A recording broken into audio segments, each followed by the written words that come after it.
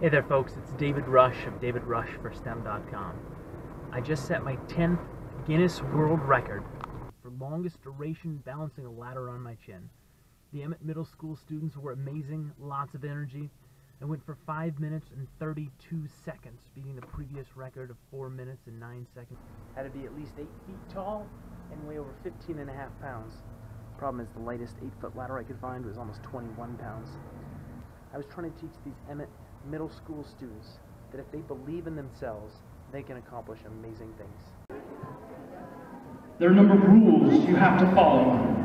The time starts as soon as the ladder is balanced on the chin. The current record is 4 minutes, 9.22 seconds.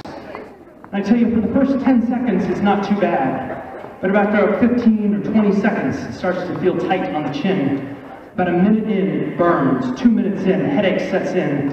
And for that last two minutes, it's all about just maintaining that balance on the chin without collapsing under the strain and under the load. If you believe in yourself, you can do amazing things.